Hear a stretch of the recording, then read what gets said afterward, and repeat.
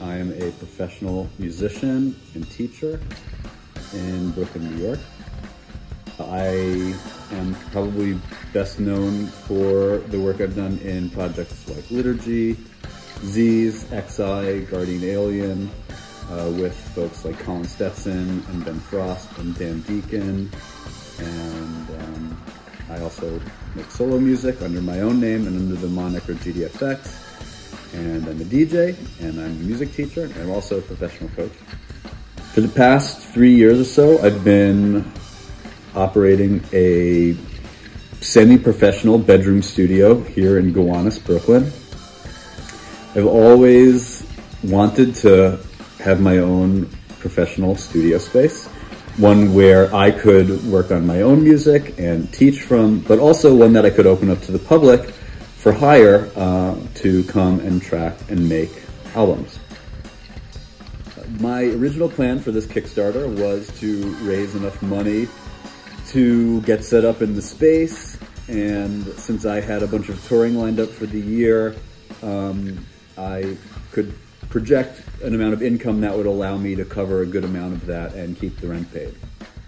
And then everything went out the window with coronavirus and all my tours got canceled over the course of about three days uh, for the first half of the year and it's looking like there's a likelihood of the rest of the year being canceled or postponed as well, along with all the expected income. Uh, the funding I thought I'd have for the studio build out and the rent um, and some of the upgrading has vaporized. I've definitely wondered whether or not it's a good time to do a Kickstarter. Um, there's a global pandemic. There are so many other things that matter right now that people should be paying attention to more. Um, and um, you know, I just hesitate, have hesitated. But I've also thought a lot about what I would feel if I decided not to do this and not to go through with this and not to pursue this dream. And I would rather try. This isn't just a chance for me to establish my own studio space. It's also a chance to contribute to the community, um, to give back, to collaborate and to, you know, contribute to the music landscape of New York.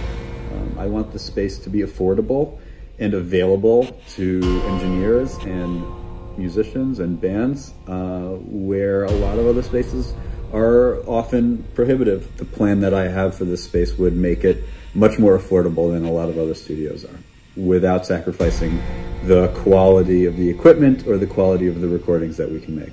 I know it's a weird time to be asking for money right now, but I really hope that other folks can help me see this vision through and believe in it. Um, and I'm not just asking for money, I'm offering a lot of great rewards, um, many of which are the services I already provide as a drummer and a teacher. Um, I'm also offering a pre-order of my new record as well as limited edition copies of it. More than anything else, I appreciate folks taking the time to check out this video and I appreciate everybody who has supported this idea already and who has supported my music career in general. And I also just hope that everybody makes our way through this and takes care and stays safe. Thank you very much.